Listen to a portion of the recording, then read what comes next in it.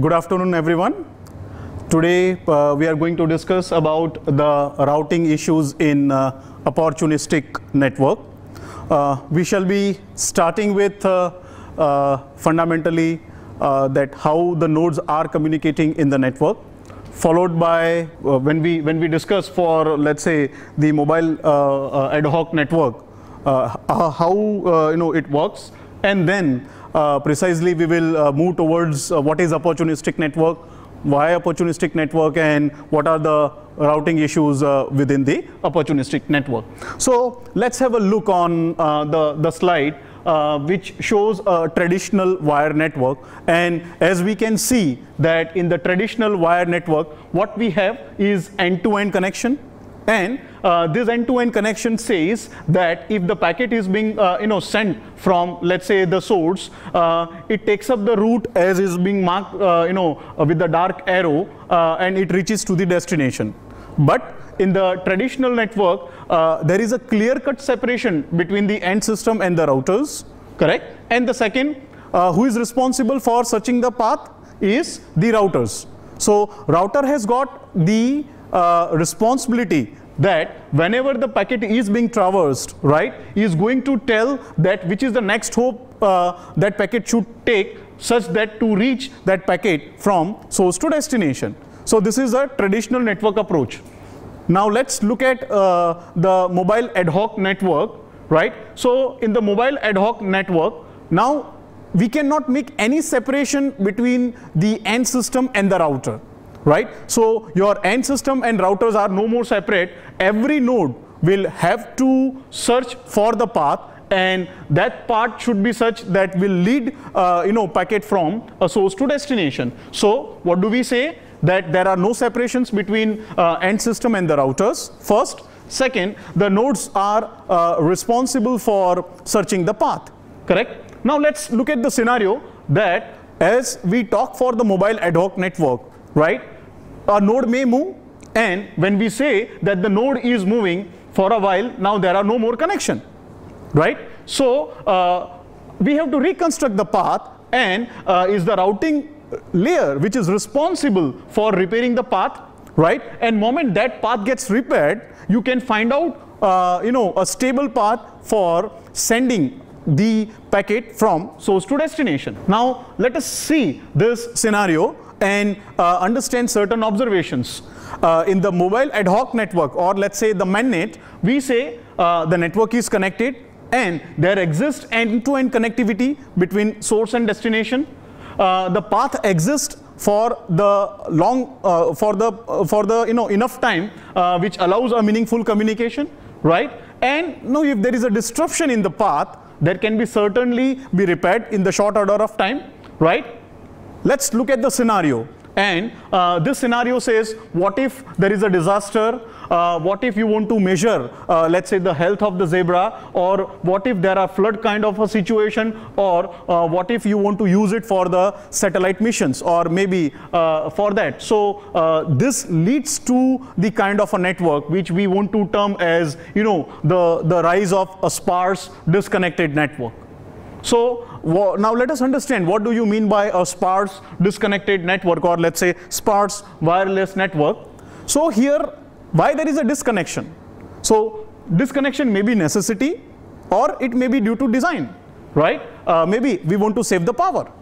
Next, uh, we have to look at the node whether all the nodes are mobile, some nodes are mobile or none of the nodes are mobile. So with the enough mobility if we can offer to the nodes will ensure that uh, over the period of time even though there exists no path uh, the packet may reach from one node to another node. So what are the applications? Where can we utilize the uh, this application is nicely suitable for message passing system right and delay is acceptable we can tolerate the delay. Why there is a delay? Because what if there is no path between two nodes for maybe uh, for for uh, for a short duration of a time, uh, for maybe for a week time, for a day time, for a month time, or for a year time. So delay is acceptable, but anyhow we want to ensure that that packet reaches from source to destination, right? So uh, we say yes, a delay uh, is acceptable, and and it can work on the multiple time scales. and that network we term as a delay tolerant network. Now, if this is the delay tolerant network, delay is acceptable, we want somehow that the packet should reach from source to destination. So whenever we talk for, you know, transferring the message from source to destination in uh, DTN, first of all, we have to understand uh, certain challenges. A very first challenge what we have, there are no end-to-end -end path. And since there are no end-to-end -end path, both proactive and the reactive schemes will fail, right? So ad hoc network routing protocol can not be utilized in this environment. Second, capacity is time dependent. So at a time, if the channel is good, if the connections are available, yes, we will able to transfer the message or transmit the packet from source to destination and at a time we may have to buffer the message sufficiently for the longer time uh, uh, till the, the opportunity arises. And when the connection comes, it's not so that the single connection will come, but there can be a multiple connections, right? And now then we have to select which one out of the available is suitable for relaying the message from source to destination. So now we stated first that the conventional routing protocol will fail. So what are those conventional routing protocol for us? So the conventional routing protocol we take up into the two categories. The one protocol is a reactive protocol, which are uh, which are on-demand protocol, and the other category is the proactive protocol, which are nothing but the table-driven protocol. Both of this category of the protocol always assumes before you transmit the message from source to destination that there is an end-to-end -end path which exists and then it selects the most optimal route from the available path for transmitting the message right? So the route request cannot reach to the destination. Why route request cannot reach to the destination? Since there is no connectivity. There is no end-to-end -end connectivity. Second, the path break uh, right after or even let's say while being uh, you know you are transferring there can be a path breaks. So uh, it will not able to detect let's say what is the next node that is available for the transmission. Where in the case of a proactive protocol uh, it happens uh, it will in fact fail to converge. Why? Because it is a table driven. So all the information what we store in the table for finding out the next hop uh, will not able to give us any detail if there are frequent disconnections. Right and uh, this eventually means that do we have uh, any other way uh, with which we can uh, at least uh, uh, you know do the transmission of a message from source to destination? And answer is yes. The traditional router basically it uses the approach that is known as store and forward. The traditional router uses an approach store and forward. Can we now make you know store carry and forward right? And that's the mechanism which is used by the delay tolerant network or let's say an opportunistic network. So here what it does, so say uh, you want to send a message from uh, node A to D though this pink line shows that there exists a connection this connection may be momentary connection but we can assume that there are frequent disconnection so node A has got a custody of the message and it stores into the buffer right? That's a persistent storage. And how long that message is going to be in the custody of node A unless node A finds that there is some node in the vicinity to whom uh, node A can forward the message. So now uh, as node A comes into the contact with node B, it forwards or relays the message to node B, right? And uh, node B as it comes into the contact with node C it forwards. And uh, with this mechanism of store carry and forward eventually the message reaches from source to destination. Are we okay? So uh, broadly uh, now we have come towards a two typical kind of a characteristics a traditional network where there exists end-to-end -end connectivity right? And this is a delay tolerant network where we cannot assume end-to-end -end connectivity. A traditional network where we can utilize a TCP IP suite of a protocol for the transmission and the reception of let's say the packet where in this case ad hoc network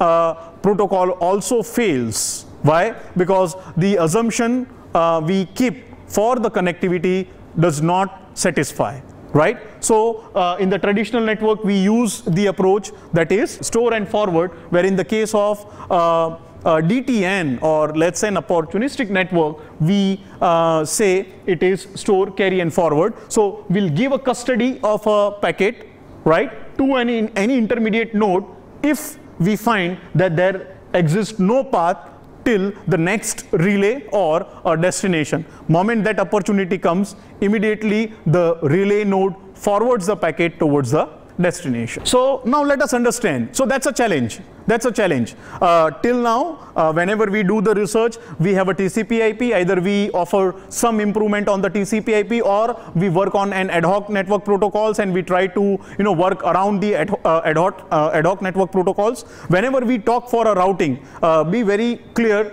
that uh, you know why, why we want to improve the performance of the routing protocol? What are the objectives? So very first objective is we want to maximize the probability for the delivery, right? So that's a first, first and foremost. Uh, you consider any network that is available to us. Second, uh, we want to prevent the buffer overflow. Why? Because moment the buffer overflows, right, uh, it will start dropping the packet and if the packets are getting dropped, it means uh, the performance of the network will get down because we have to retransmit those packets. Speed up the release of the resource since the resources are shared, can we quickly speed up the release of the resources and can we minimize end-to-end -end delay, right? That's the way, uh, uh, these are the minimum routing ob uh, uh, objectives what we have. And to minimize end-to-end -end delay, generally what we do, we use the knowledge of the future topology. So it is, uh, in the sense, it is an optimal way we look at the network that we know what is going to happen, right? So we try to compute the path such that uh, it allows us to select the best path from the available which will ensure the delivery from source to destination in the minimum amount of time. And uh, uh, per hop routing is now preferred over the source routing. So what do you mean by source routing? How do we define the source routing? And what is per hop routing? Per hop routing is uh, you uh, the packet travels from one node to another node. Now that node will decide to which next node the packet should be relayed or for forwarded. That means it's a per hop routing. Where in the case of a source routing, the source node says a path to be followed. Right? So the network which we are trying to talk is a delay tolerant network and that's why because we don't know, we are not, we don't have any surety whether the path will exist or not and that's why we say per hop routing is preferred over the source routing because it you know it offers a flexibility to change the next hop which is really not available when we talk for the source routing right? Uh, yes the next is uh, an important characteristic that the message splitting is allowed. We can split the message right? And uh, what we can do, we can send the fragments of the message and at the receivers end all the fragments uh, again gets together and then we can able to reconstruct the message. But for now and for our discussion, we assume that we are not fragmenting the message. The message itself is an atomic entity and whenever we send a message, the message as a whole uh, gets uh, uh, forward it from source to destination. So now let us look at certain uh, you know uh, strategies like uh, in general in the DTN broadly if you want to do the classification there is there are routing protocols which falls under the category single copy and the other fall under the category multi-copy, right? So what do you mean by a single copy routing scheme? Uh, single copy routing scheme means there exists only single copy of the message within the network. So look at this, uh, uh, this diagram. So there is a message for, uh, uh, uh, with the source, right? And it shows right now there are no more connectivity, but assume at a point of a time there is a connectivity and uh, the source relays a single copy of a message M uh, over here and then whenever it gets a connectivity over the time, the message will be relayed towards the destination and the D is an ultimate destination to receive the message. So how many message copies are there in the network? It's only one. It's only one, right? What is our objective? We want to improve or maximize the delivery probability. What we want to do, we want to minimize the delay. Now, let us look at this, right? How many transmission we can have? It's a minimum number of transmission. It cannot be one. It can just not be one right we say the transmissions are minimum why because you will start from the source and you keep on forwarding the packet till you get to go towards the destination, right? So uh, the, the, number of transmission can be there, but the, there are few number of the transmission in case of a single copy, right? Uh, one example of the single copy is a direct transmission protocol. Direct transmission protocol says that the source will only relay the message to the destination. The source will only relay the message to the destination, no other intermediate nodes right? So how many transmission we will have in that case? How many transmission we will have if the source says it can only give a message to the destination to no other relay nodes? So how many transmission will be there? Only one right? And that's the minimum possible. You cannot have minimum than one as we straight away go to the destination and deliver the packet. But then what can we say about the delay in that case? What can we say uh, uh what what can we say about the delay? What comment we can make for the delay. Why there is no delay? Why there is no delay? There can be a delay and the delay may be maximum. Why? Because uh, delay tolerant network does not ensure that there exists end-to-end -end connectivity. So the source cannot come into the contact maybe directly with the destination. The source may be in contact with some of the relay node, but the relay node should not get this packet. So delay is maximum, but the transmission is 1. Delay can be maximum, delay can be maximum, but transmission is only one or say single, right? So that is all about, let's say, a single copy scheme. I hope it is clear. Yes? Fine. Now let us look at the multi-copy scheme. So the objective once again says we want to improve the delivery probability.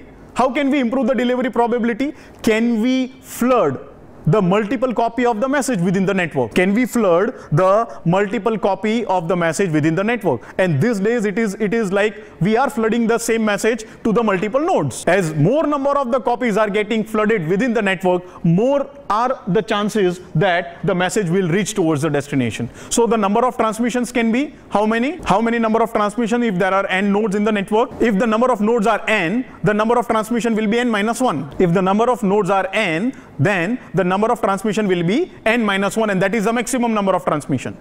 Right? How many message copies will be there? Again m minus 1. Again n minus 1 why? We assume that every node gets a copy, then we have to flood the entire network till we find it's a maximum number which I am trying to convey, right? So maximum number of the message copy can be n minus 1 uh, considering source has already copy of the message. Is that clear?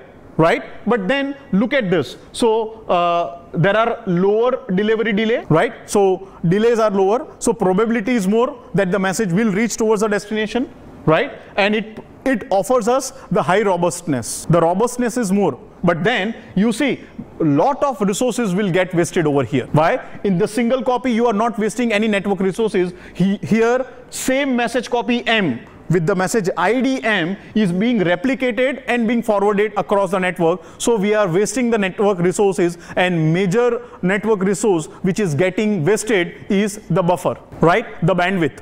And it may invite the collision in future, right? So no doubt we are able to improve, right? The performance that is uh, delivery probability, but at the cost of wasting lot of network resources. So uh, these are the two schemes which we are trying to discuss. We have discussed first about uh, the direct transmission. Direct transmission is the scheme follows under the category single copy so it's a the it is the most simplest strategy that we can have in hand. So the source carries the message unless and until it meets the destination and only it can give a copy of a message towards to the destination. No other relay node uh, can accept the message copy, right? Or allowed to you know forward the message copies. So how many transmissions are there? It is just one and the delay it's a largest possible, right? and fine this this uh, remains always an open is it finite yes with with the consideration what we uh, talk so far for the simulation the largest value also we have to take it into the bound of the finiteness right and the delay which we will get from the direct transmission is uh, going to act as an upper bound for all other schemes. What do you mean by it is going to act as an upper bound? What, what do you mean by it is going to act as an upper bound? Suppose there are five nodes, two nodes are performing a direct transmission and the delay which is experienced is uh, let's say 500 milliseconds right so this 500 millisecond is the maximum time can have to uh, transmit the message from source to destination. So if you go with any other scheme, their delay will be always lesser than the 500. And that is why this says it is going to give us the upper bound in case of a delay. It is going to give us an upper bound for the delay. I hope you're following me. So uh, now we come uh, and try to look at a more closer way towards uh, the, the, the discussion. There are disconnections in the network, right? And if there are disconnection, uh, how can we improve those disconnection?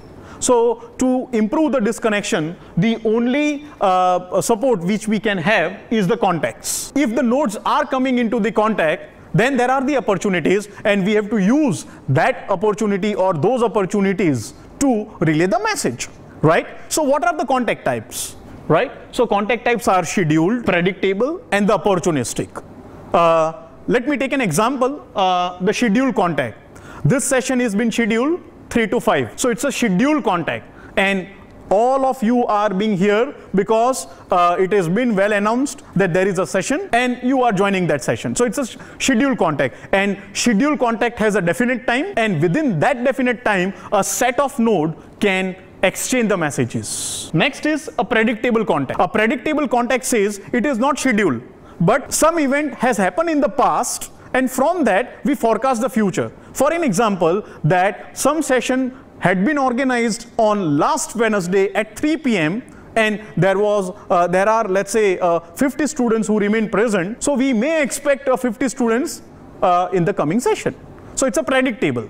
And to predict those, we have to look at the past history. Unless and until we have the past history, uh, we cannot predict the future. So we need to keep the history and that history we analyze to compute let's say the probabilities and with those values of the probability we can eventually answer whether the node is promising node which is going to appear in the future. And this is one of the uh, you know uh, a technique which we are going to use when there are multiple nodes in the contact. We have to select one node. So which node shall we select so we want to select the node whose uh, probability values are higher. So more probability value, better is an opportunity that it is going to forward that towards the destination. And the last is an opportunistic.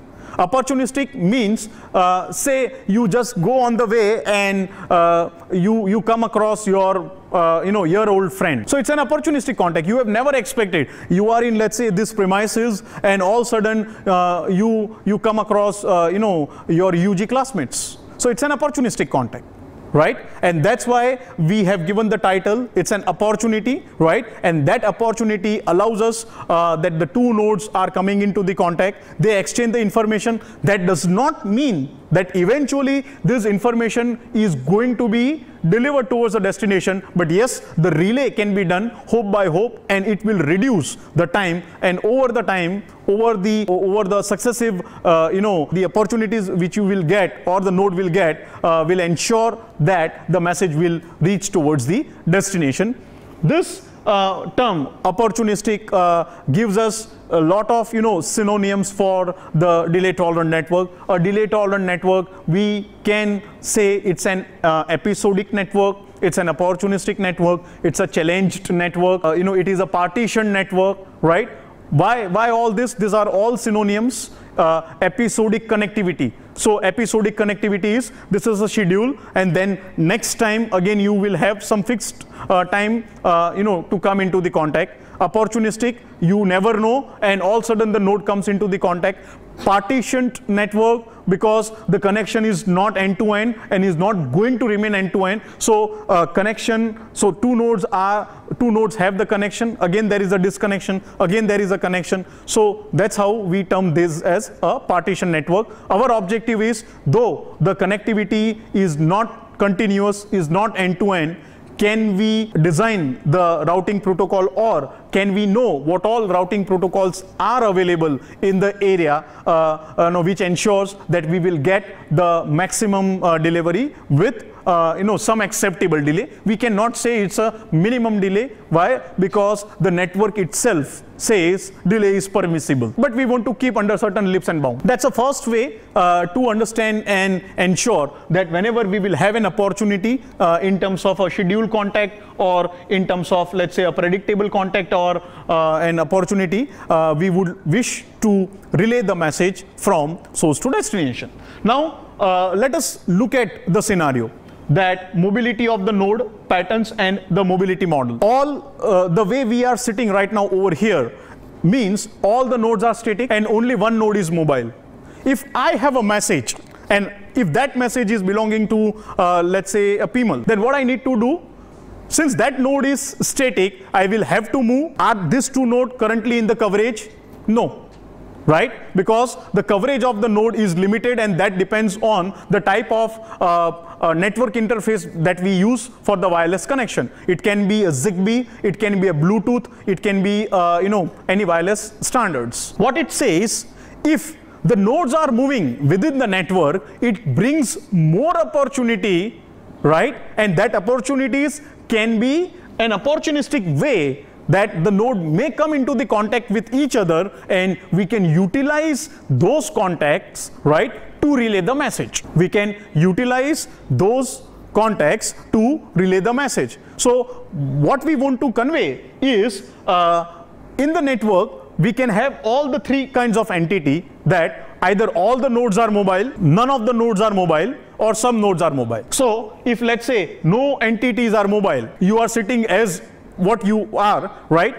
And if, uh, if we take that all these nodes are a wireless node, then you have a fixed connectivity. So if any node, any message is being instantiated, let's say from the first node, and if it is to be delivered to the last node, then this node is not in the direct connection with the last node. What uh, this node can do, can start relaying the message to the nearest node, uh, nearest neighbor, and hope by hope, right? Eventually that message may reach towards the destination. It may be the case by the time it reaches to the second last node, uh, completely the power gets off and message does not reach to the destination, but the message will not drop because every node will have the persistent storage.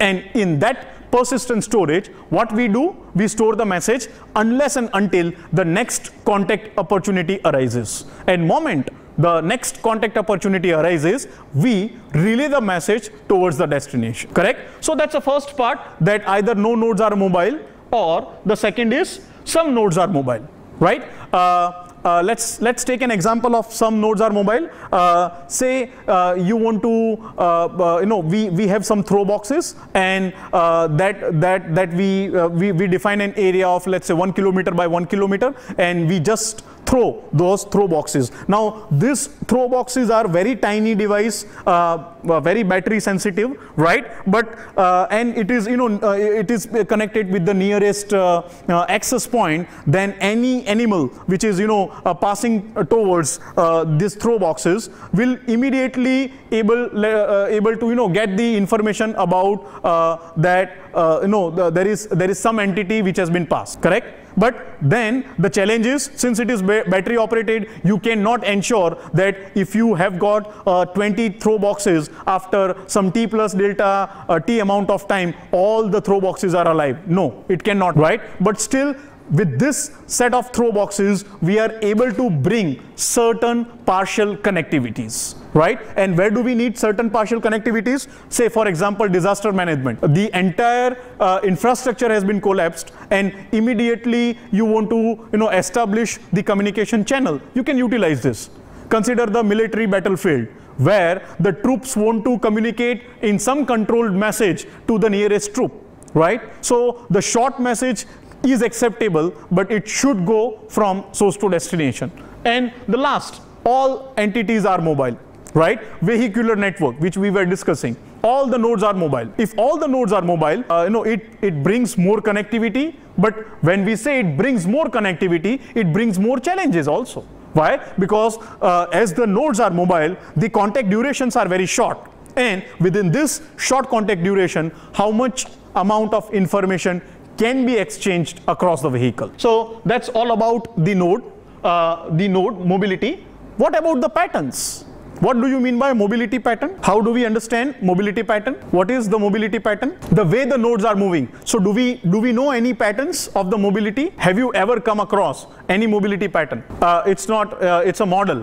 I'm asking pattern. Uh, any any any pattern? See, uh, no. See the students, school students following the teacher they will straight away go in, uh, you know, in a single column. Uh, see a group of students, right, uh, going to visit a museum, right? Though they do, they are not uh, uh, in the queue or uh, in the column, but they form the group, and there is a group leader.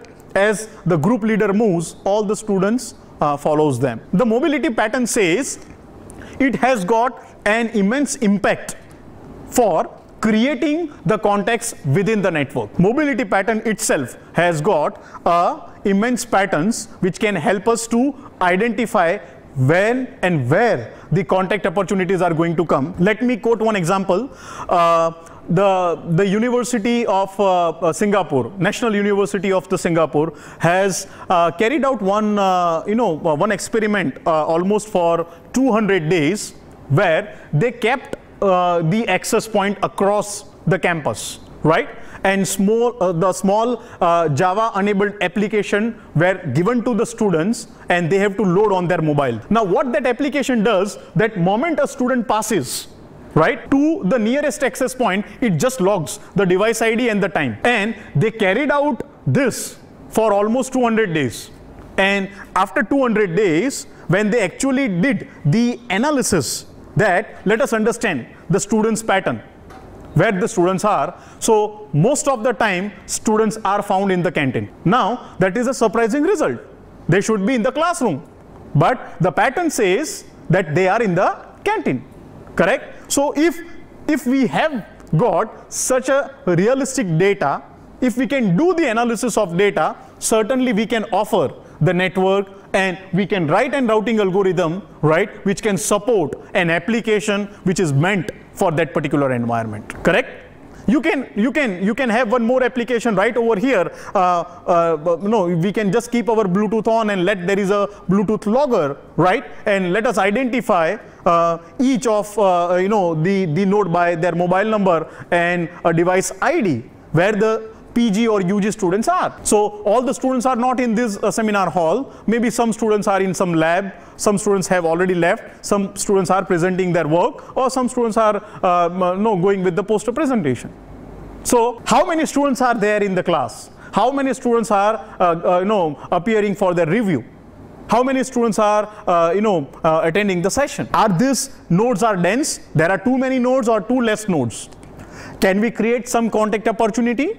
Right? So this kind of analysis on the realistic data we can make and we can present the results right? So that's a part. And then once we have the patterns we can propose the model. Once we have the mobility patterns we can immediately propose the models corresponding to that. No doubt is going to take the third and the most important part and that is the network resources. So the network resources are uh, such as a mobile nodes uh, uh, or you know the mobile phones, PDAs, laptops, Bluetooths, uh, there are a lot of gadgets these days, right? Uh, sensor nodes, throw boxes, uh, you know, mules. we have a Zigbee devices, right? sensor nodes. These are all the nodes we can consider. So nodes are also heterogeneous and they offer the different capabilities, right? But one thing is sure, they have a very limited storage right? And the transmission rates are also, uh, you know, uh, very limited. And most of the nodes are battery operated. So moment, let's say, uh, the battery gets drained off, right? Uh, the opportunity gets vanished, right? And we have to wait till uh, either that node gets recharged or appropriate opportunities are, you know, arised for that particular node. So now let's do the classification classification of uh, uh, the mobility models. I'm sure you must be aware of this classification. Are you or not? So uh, all the mobility model can be broadly classified into two categories. One, we term that as the real traces and second we term as a synthetic model, right? What do you mean by the real traces? The one example which we have uh, uh, come across of you know the National University of Singapore where the entire experiment was done for the 200 days. We collect the traces right? We analyze that trace and we present the result are known as the real traces. But for the real trace what are the challenges? We have to establish the network we have to write an application. We have to ensure uh, that application is been given to the targeted audience. We have to ensure that they are using it. We have to ensure that the data is getting logged. We have to ensure at the that's uh, the first assignment uh, i thought that no we should seriously do and uh, understand as no what what we uh, are discussing about. So let's take a very quick look on the assignment. Maybe uh, you know you can you can try at your place. So very first question is so what are the differences between the traditional network and uh, uh, delay tolerant network? How do we define the differences? That is right. And in case of a traditional network, store and forward. Fine. That's the first difference. Second difference. Second difference. Uh, so in the traditional network, there exists end-to-end -end connection, where in the case of a delay tolerant network, end-to-end -end connectivity does not exist. Right. Anyway, so these two differences are enough to go ahead and let us look at uh, the second question. So the second question says, what are the differences between the random walk and random waypoint mobility model?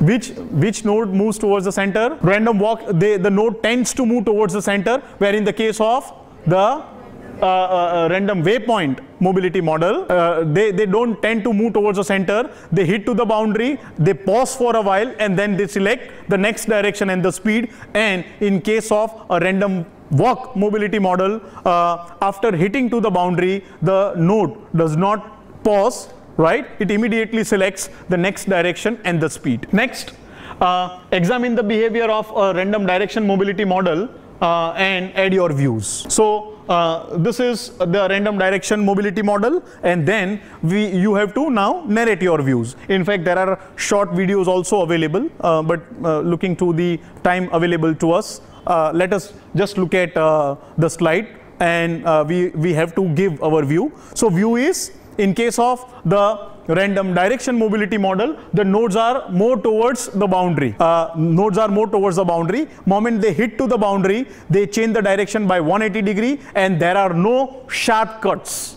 There are no sharp turns, rather cuts, it is better to term turns, right? So there are no sharp turns. Are we okay? Fine. So give an example of column and pursue mobility model. Uh, what do you mean by a co column mobility model? So give, give an example of column mobility model. A students following the class teacher. It's a column mobility. They will always move in one, you know, one column. They won't deviate. Try to understand. Right? Why it is not a group based model? Why it is not a group based model but it is a column model? Why it is not a group based model but it is a column model? You cannot, you can always argue, sir, uh, when you say the students following the class teacher in the single column, why can't we say it's a column, uh, why can't we say it's a group-based mobility? In the group-based mobility model, within the group, the node can have a random walk. In the group-based mobility model, the nodes within the group can have the random walk, right? But they will try to refer the group leader, right? When we say it's a column mobility model. You are only referencing a single node, right? And that node actually referencing the leader and all of them are moving in the same direction with the same speed and with the same coordinates. So there are no, ideally there are no random walks when we talk for the column mobility model. What do you mean by a pursue mobility model? Pursue mobility model says that let's say the police which is trying to catch the escaper, it's a pursuing. So what the police is, police is doing, it is trying to catch the escaper, right? Or let's say a thief, right? So the, the police coordinates or the, the node coordinate will change as the escaper is changing the uh, coordinates. So uh, the police will move faster if the escaper is moving faster. So that means it is a pursue mobility model, right? Any other example for the pursuing mobility model? Uh, you can have that as a short assignment. Think of the pursue mobility model and uh, maybe you can post uh, your answer.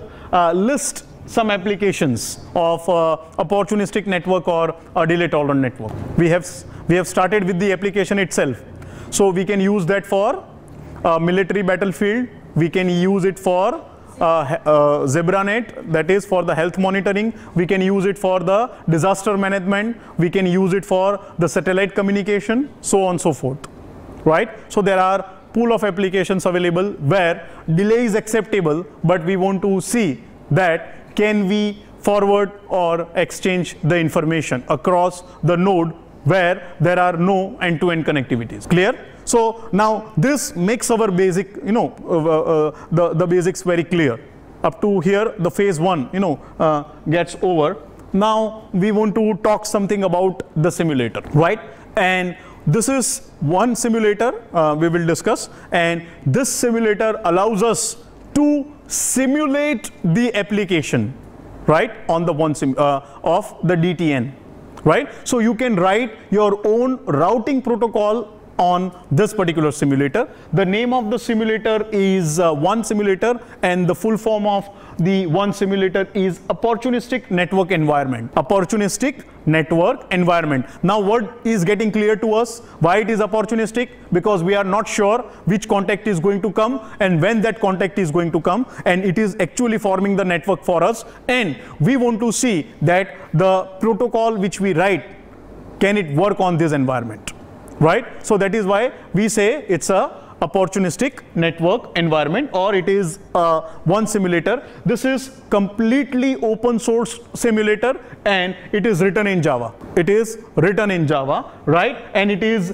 uh, agent based discrete event generator. What do you mean by discrete event? There are two kinds of event we can have, continuous event or discrete event. So what do you mean by continuous event? What do you mean by discrete event? One, two, three, four, five is discrete or continuous? 1, 2, 3, 4, 5.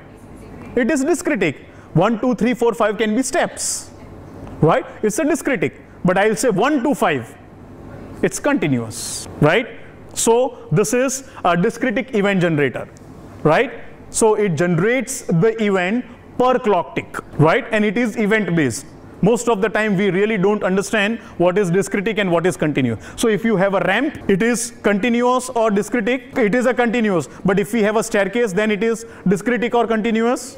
It is discrete good. Fine. So now we understand what is discrete and what is continuous. So the one simulator is an uh, open source simulator to write and design the routing protocol which can support let's say the DTN environment. It is completely open source agent based uh, uh, uh, simulation and you can just google on that and it offers the complete framework right? And that framework consists of it supports majority of the mobility models.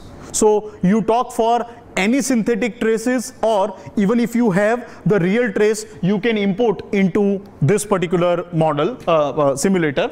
And uh, uh it generates the discrete event. Uh, you can uh, the nodes can exchange the message right? There are set of protocols which are already written and we can use it along with the code. You can modify and you can play it around right? As well as the framework is available library is available with which you can write your own routing protocol supporting to this environment right? Uh, uh, the new version is also supporting the notion of the energy consumption right? Uh, there are graphical tools and a lot of uh, reporting data which are being generated and that we can certainly uh, you know visualize and we can do an analysis of that and there are interfaces available to import and export uh, the traces within. Uh, on the left hand side, if we want to see the architecture, what is written, I'll tell you. Uh, it is, uh, these are all the mobility models. Try to understand. Uh, these are all the event generators. What is written over here is a simulation engine. So uh, mobility model and let's say the event generator, both of them give an input to the simulation engine. This is the routing logic we have over here, right? And that routing logic uh, uh, has got, let's say, the routing data, some configuration files, right? And let's say the code, the core code, correct? And here what we have is a connectivity data as how the nodes are getting connected to each other. So uh, the entire routing logic goes to the core engine that is the simulation engine uh, from here we take let's say the mobility model from here we take up the event generator broadly event generator is allowing us to pass let's say the external uh, events uh, uh, in fact the message generation and uh, the simulation engine which is the core of that uh, it will decide now whether to relay the message to the next node or it is the last node to whom we should deliver the message, right? And all that data comes to the visualization and the report. This you can analyze and you can prepare the charts. So that's an complete architecture and the way uh, we see this diagram, it is basically an architecture. On the right hand side, uh, what we have is a framework, right? I will just show in a minute like uh, uh how this framework looks like and uh, uh, you can just download. It's a a simple zip file download and if uh, JDK and JRE installed in your machine, you compile all your Java file, it will generate the class files, right? And in the batch mode, you can run the simulator opens and uh, by default, it shows the, the world space, which is nothing but the map of Helsinki city where you can put down the nodes and you can uh, carry out your simulations, right? So let me show you that uh, how this simulator look like, uh, looks like and uh, how it works. See, this is the simulator, right? So this is the one simulator. Uh, I have already loaded the file. Uh, so, you know, uh, okay. So, uh, you know, I have to give some uh, simulation time to this. Uh, let's say I'm, I'm, I'm, I'm, giving some simulation time to this and see the nodes, are, the nodes have started moving, right? You see the nodes are moving here. in fact, I have to just zoom into this graph. Say the nodes are moving, right? As the nodes are moving, uh, these are the event log which shows across which nodes the connection is up or down. And if the connection is up or down, are they exchanging the message or not, right? And uh, since this is the Helsinki city graph, uh, it's a map-based mobility model and they actually follow the map. But you can change this graph and you can put up, let's say, a random walk mobility model, random waypoint mobility model, and even if we have the real traces, we can pass on.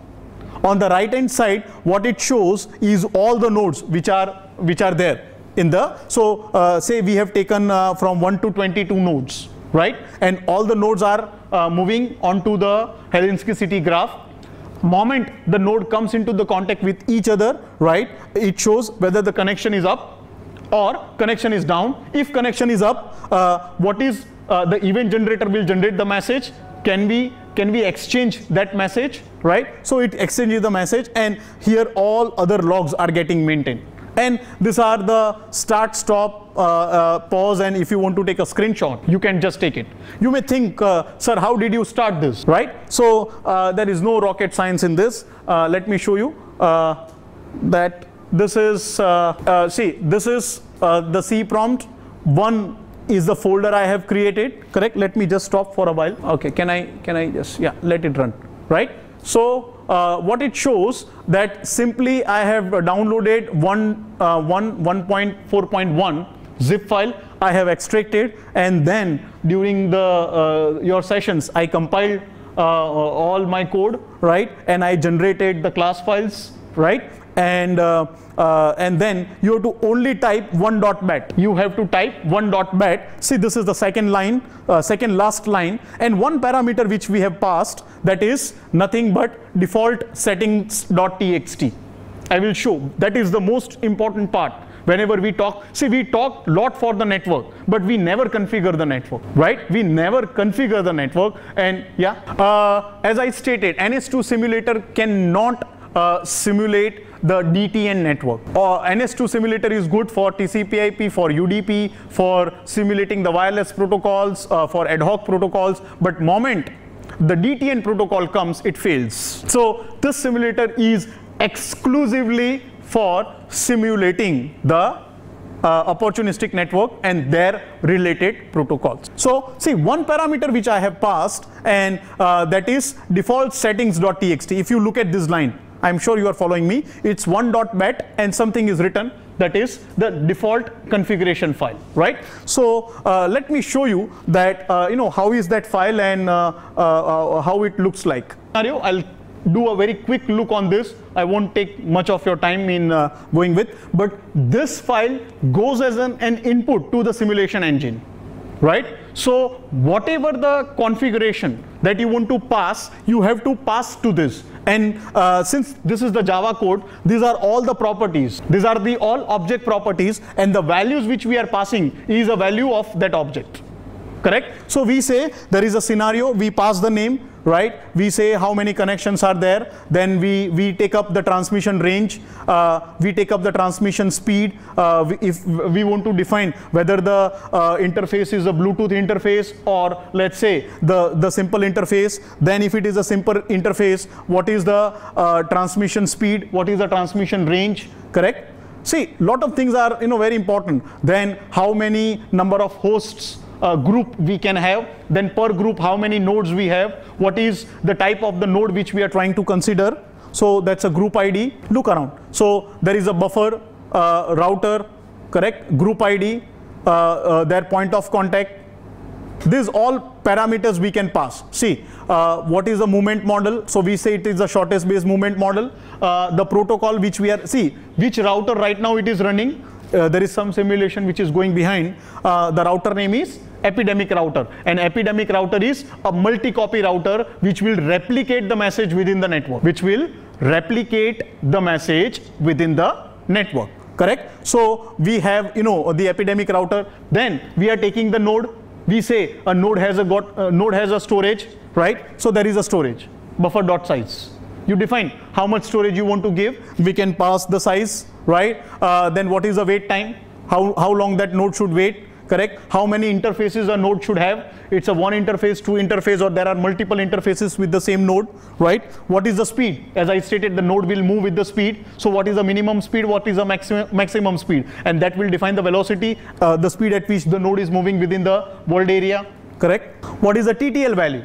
So uh, uh, how long that node is going to be available and when it is going to die, right? So TT, oh, sorry, message. I'm sorry, message. So how long that message is going to remain within the network and when it is going to die. So we define, let's say, uh, see, the TTLs are in minutes. Why the TTLs are in the minutes?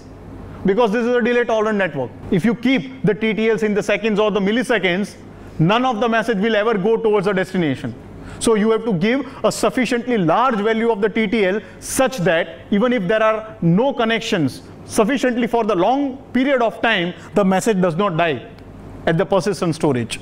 It is remaining available, it is waiting for an opportunity such that when the next node comes into the contact, the message gets forwarded. Clear? Right? So uh, group TTL value, message TTL value, number of hosts, uh, group ID, uh, what is the speed, uh, so on so forth. Now this is for one group, uh, this is for another group. See this is a tram group, so we can define the trams, we can take a pedestrians, everything. So these are all the groups. Now message creation. So how many message we want to create? So uh, these are the number of event generators, right? Uh, at what interval you want to create the message? What is the size of the message? Right? Everything we can define. What is the message ID? What you want to put as a prefix to your message ID? Right? Uh, movement model right? So what is the seed value for the moment model? What is the area which you want to define uh, as a world space? So we define our space, right? What is a warm-up time? What do you mean by a warm-up time? Very important line. Warm-up time is a time till which the simulation engine will not take any reading. Warm-up time is a time till which the simulation engine will not take any reading. So it just allows us and entire simulation starts, but no readings are being taken up. So let all the nodes should get adjust. So generally we put up a thousand uh, simulation seconds as a warm-up time. Let everything get set and then we will start taking up the readings.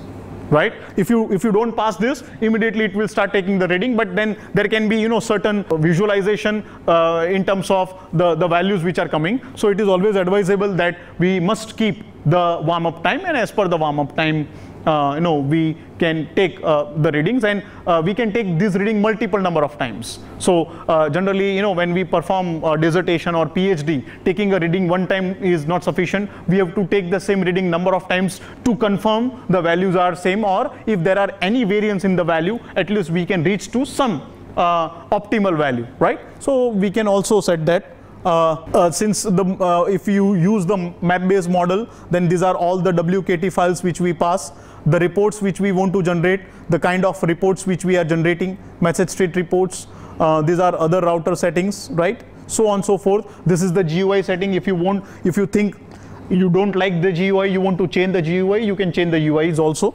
right? So uh, more or less, uh, almost, you know, uh, we try to understand about uh, the, the simulator. Uh, see, this is the entire class diagram and the package diagram right? It shows what all classes are available, what methods are available, what properties are there, where can you plug in your own interface, where can you extend the class, where you can use the object and uh, write your own methods, right? So on so forth, such that it gives you a complete suite with which we can write the router, right? Installation is you can just Google on the one simulator, download the zip file, right?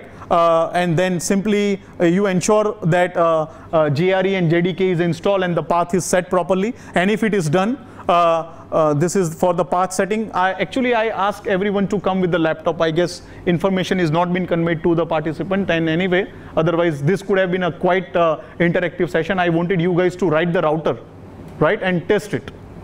That was the actual plan. But since the information is, I guess, not conveyed, uh, anyway, just see around. Uh, once you compile the code, uh, as I stated, to compile the code, you can just go with uh, compile.bat, right? And once you do compile.bat, it will compile all the Java file and you will get the class files, right? And then, fine, just to run, you have to execute on the prompt one dot bat. You have to just uh, write on the prompt, considering it is a Windows machine, you write one dot bat, the GUI will open. But when you are actually ta uh, taking the reading, we don't want GUI.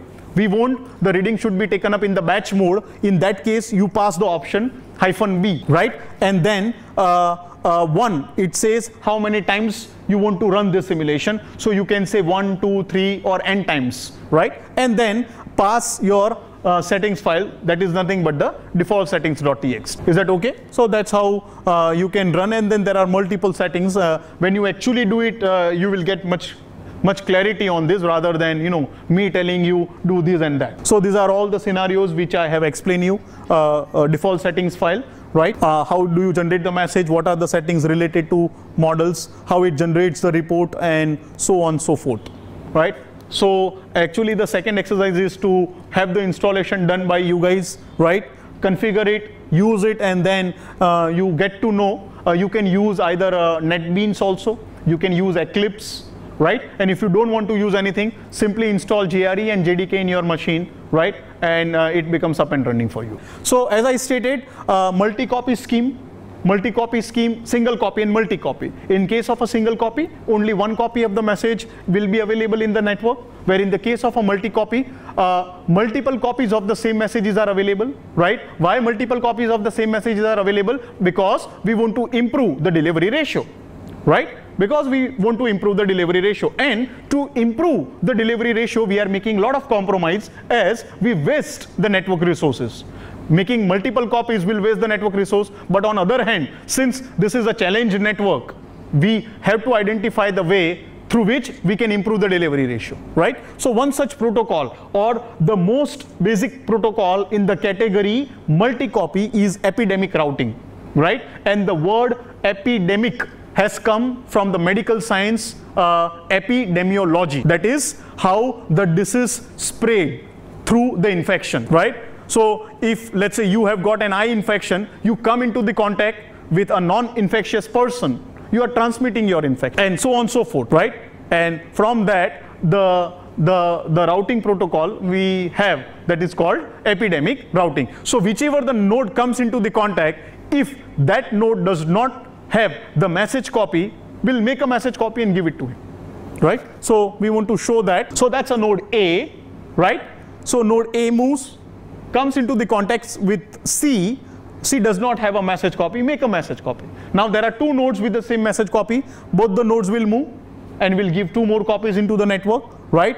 And uh, node now B goes uh, and gives a message copy to D and maybe uh, D is the destination, but then there are, it generates too many transmission, right? Single copy will have only one transmission here, there are too many transmission, over in the single copy, we have only single copy of the message here. We have multiple uh, uh, copies of the uh, message, but then uh, it is always, uh, we have to look around the routing object. If you want more delivery, you have to make some compromise, right? And we have to utilize an uh, you know optimization theory to identify as what we can do. So there are shortcomings, right? And those shortcomings says there are too many transmissions, right? Uh, unbounded number of message copies which are available, correct? Uh, under high traffic, high contention for the buffer space and bandwidth results in the poor performance, right? So uh, these are the conditions, uh, these are the case. Uh, let me not discuss about spray and wait. We have only look around for the two basic scheme, one for the single copy, one for the multi-copy and uh, uh, let me let me straight away you know go towards the last part of our discussion and that is questions. So if there are any questions, certainly you know I can try to answer. So there is any research paper related to this? There are there are many researchers, including uh, you know one standing here had worked since uh, 2008. Uh, why the nodes move towards the center or the boundary in case of random walk or random direction? Uh, in fact, they are mathematically written like that. That see what I said. Okay, it is a synthetic models, right? So they are being written. Uh, you are picking up an equation, a Euclidean distance equation and the way you implement the Euclidean distance equation that is under root x square minus y square and you see the nodes are moving, you will find that they are moving towards the center, but the code is available. So at any point of time, you, you want that no, I want to change this code, maybe you change it, but then it is not random walk. It may be your model. It's your mobility model. So there is a uh, .tr file, trace file in NS2. Yes. So, is there any similar file uh, exist in one? See, uh, uh, let me quickly recap on uh, the one file. One, one is a simulator available. Only one file which we have to pass is default settings.txt, right? You write all your configuration in the text file and you pass that to one through the text file. So, moment one.bat runs, right? What it does, we are passing a command line argument default settings.txt that command line argument initializes all the constructor and it gives the default value. And moment you start the simulation, as per that initial value, the entire simulation engine starts. And at the runtime also, to the level we have done the R&D, at the runtime also, you can change the values, right, and pass it to the simulation engine. Sir, what are the practical applications? Uh, practical application, as I stated, uh, for example, uh, we have taken up a trace, right? uh, for let's say a National University of Singapore where most of the students are found in the canteen, correct? It's a mobility model, right? So that mobility model can be given as an input to one simulator, right? And you write your router. It's an epidemic router which is available. Let's say I, I want to say it's a student router, right? And I want to see what is the delivery probability, delivery ratio and the throughput, right? So we'll give a real trace as an input we write our own router uh, which will extend the basic router, we'll define our own parameters and we can do it. First thing. Second, uh, there are mobile apps available, right? Where you can install epidemic router, direct transmission and everything, correct? And just keep your Bluetooth on, right? And generate some message and see to which destination you have defined and you can extend the message. And you can note down the time and then you can compare uh, the actual result with the simulation result. Is there anything, any other question, right? Thank